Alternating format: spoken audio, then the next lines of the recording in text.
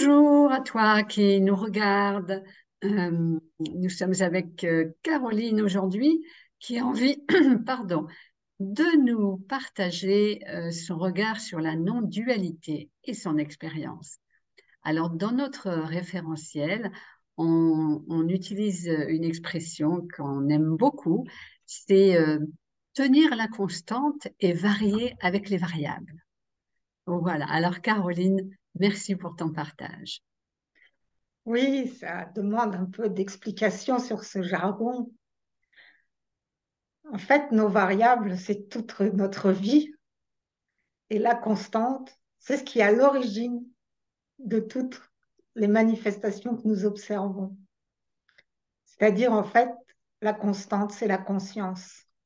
Et qu'est-ce que la conscience? Eh bien, c'est ce champ informationnel de silence, rempli d'amour et d'information donc, sur lequel viennent se greffer les variables que nous activons par toutes nos croyances, notre mental, notre émotionnel, notre corps physique et aussi avec notre ego. Et il y a certaines variables qui sont faciles à repérer. C'est dès que je m'identifie, on va dire même, je suis une femme, je suis une mère, je suis vétérinaire. Euh, j'ai euh, même 59 ans. J'habite telle maison. Et bien tout ça, en fait, ce ne sont que des variables. Mon compte en banque, ma profession, mes amis, mes relations, tout ça, c'est changeant. Donc tout ce qui est changeant, ce sont les variables. Et qu'est-ce qui ne change pas? C'est la conscience, la présence l'espace de silence d'où naissent absolument toute euh, la manifestation. Je suis en train de relire Quiétude et euh, également La Nouvelle Terre de Eckhart Tolle. Et, il en parle tellement bien, c'est tellement simple. Et quand j'étais plus jeune, je croyais que je serais heureuse quand tout serait stable dans ma vie. Ah oui. Et il m'a fallu longtemps pour apprendre à, à intégrer qu'en fait, euh, eh bien, la vie, c'est pas qu'il fait toujours beau, mais c'est apprendre à danser sous la pluie. J'adore cette expression, je sais pas de qui elle est, hein, on la voit souvent comme proverbe. Et c'est exactement ça, c'est-à-dire que quand je tiens la constante, c'est-à-dire que je reste à l'intérieur, euh, à l'intérieur de moi, avec l'observateur qui voit tous les remous émotionnels, toutes les tempêtes au niveau du mental, qui voit des douleurs physiques, qui voit des relations conflictuelles, enfin, ce que nous pouvons tous les uns les autres euh, découvrir dans notre vie euh, d'humain sur cette terre, dans la dualité. Et eh bien, c'est observer la tempête, ok, elle est là, elle est là, et pour autant, il y a toujours l'observateur qui sait que tout ça, ça se déroule sur un lit de calme intérieur. Et là, j'ai compris qu'en fait, il y avait comme une superposition possible entre le calme et la tempête. Alors, effectivement, euh, moi, de mon côté, je parle de surfer. J'aime bien cette expression. C'est, voilà, apprendre à surfer. Euh, parce qu'effectivement, euh, bon, les vagues, alors quelquefois elles sont petites et puis parfois c'est des grands, grands, grandes vagues. Et, et, pour moi, effectivement, le marqueur de, de cette constante, c'est la paix. Hein. Il y a un espace euh, en soi, un espace de paix, euh, et qui est un espace aussi de, de joie sans objet, c'est-à-dire euh, c'est un peu le sourire aux lèvres. C'est pas une joie éclatante euh, nécessairement, mais il y, a, il y, a, une pétillance en fait intérieure. Et effectivement, ben, on, se voit par moments euh, surfer sur les vagues, et par moments on est pris dans les vagues.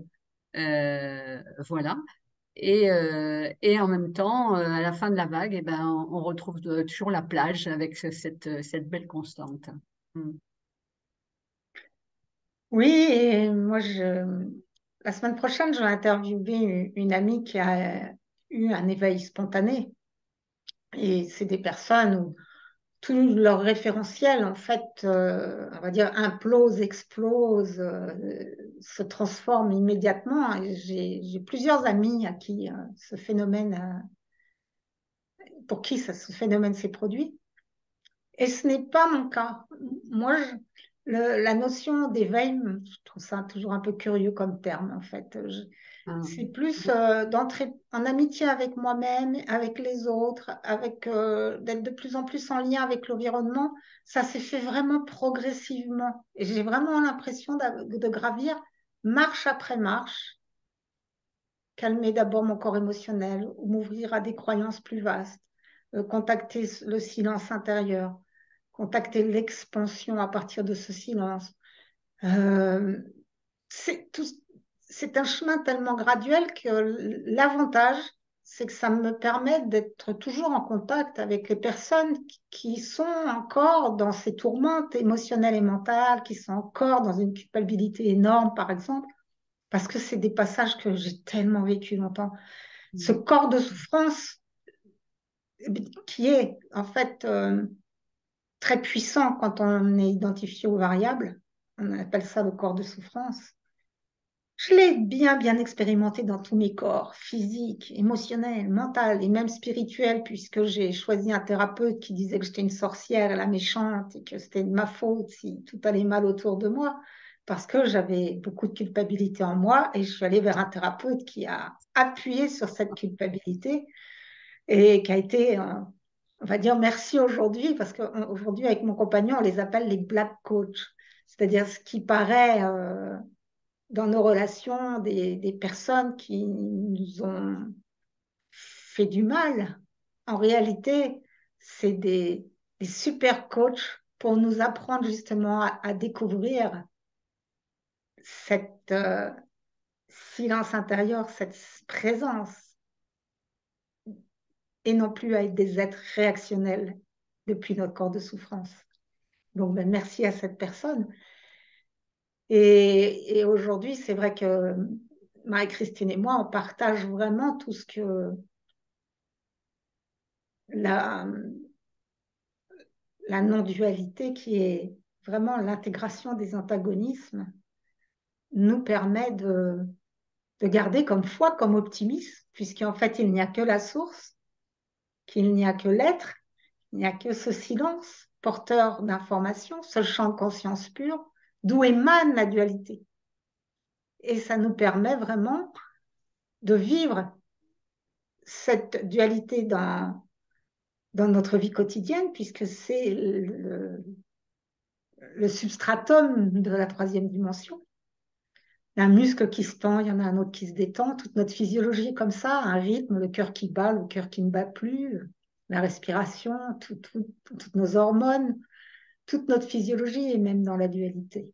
Mais on a changé le terme en dualitude parce que la dualité, c'est on oppose les extrêmes, alors que la dualité, c'est on rassemble les antagonismes. La dualitude, oui. La dualitude, merci. Voilà. Oui, merci. Euh, cette, euh, cette constante, euh, quand, elle, est là, effectivement, et qu'elle englobe en fait cette dualité, elle permet en fait de d'accéder à cette dualitude où on a encore ces opposés, mais simplement ils se vivent non pas dans le rejet et la séparation, mais dans cette, euh, unité en fait de la, de la présence. Et voilà, juste un petit truc, comment on fait? Ben, Il y a un truc classique, hein, c'est de revenir à sa respiration.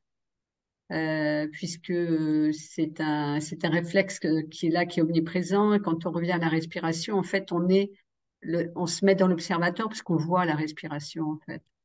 Donc, euh, c'est dans, dans la période dans laquelle on est, où effectivement il y a des mouvements qui s'exacerbent. Hein. On, est, euh, on est dans une période de transformation, donc ça, va ça pousse de plus en plus. Et donc c'est vraiment toujours se ramener euh, voilà, dans cette, euh, dans cette présence. C'est extrêmement simple puisque, alors on peut, il y a des personnes, je sais, se remettre dans leurs pieds. Est-ce que, est-ce que je sens mes pieds euh, dans la terre, par exemple? Moi, c'est plus sentir tout mon corps, sentir ma respiration. Et en fait, parce que c'est pas la personnalité qui perçoit, c'est justement l'être. Et donc c'est la constante, c'est la, c'est la vie en fait dont je suis une émanation qui perçoit là où j'en suis. Et donc vraiment, nous, nous vous invitons dans cette période à, revenir à ce, à revenir à ce centre. Et même quand on danse euh, dans les embouteillages, dans, un, dans une problématique euh, professionnelle un peu tendue, etc., on peut toujours se ramener et respirer un peu.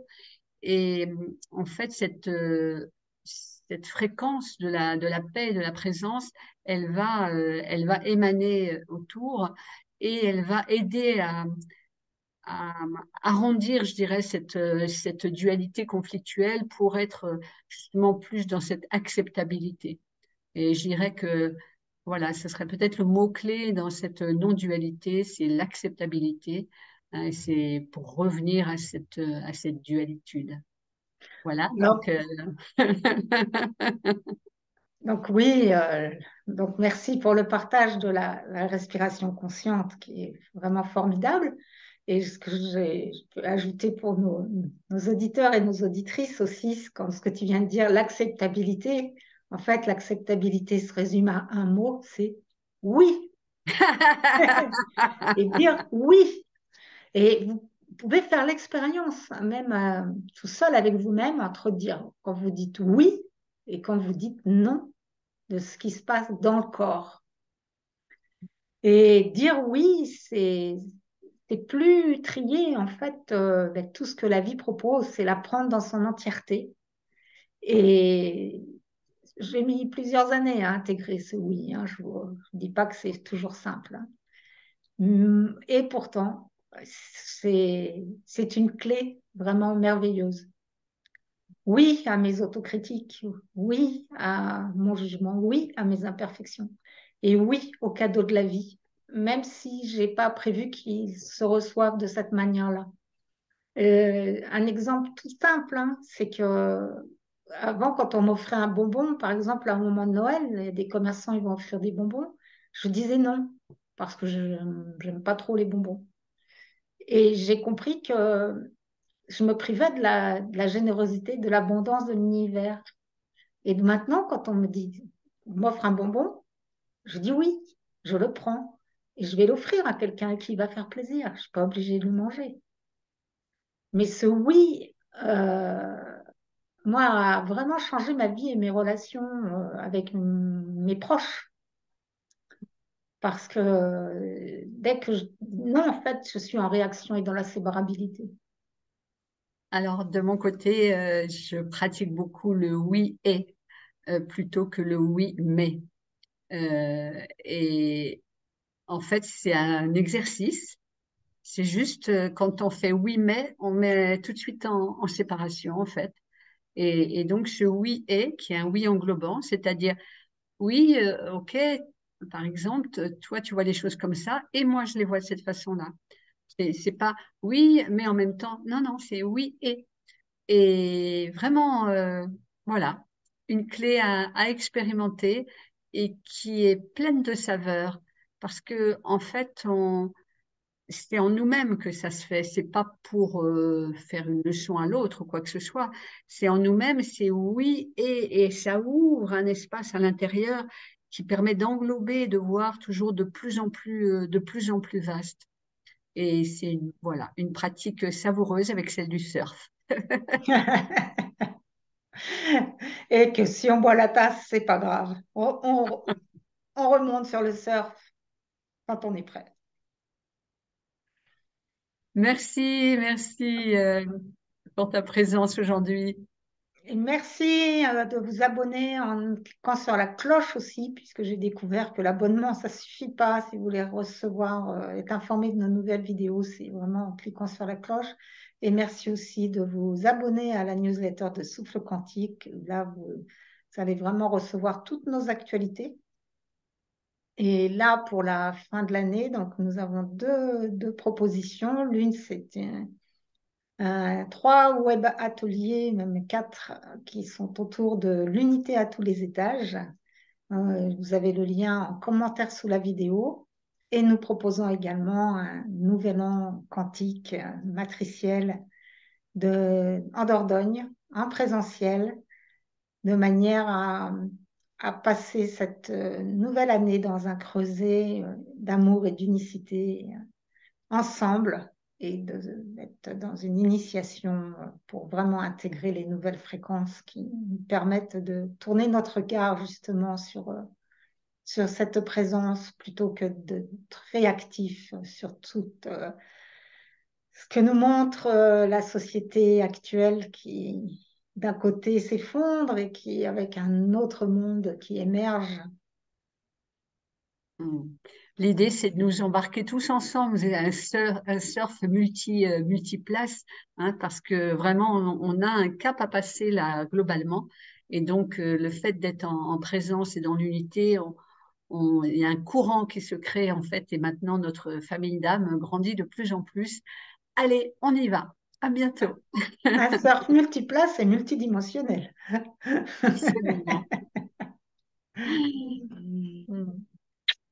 Merci Marie-Christine, merci à, à toi qui nous regarde. À bientôt.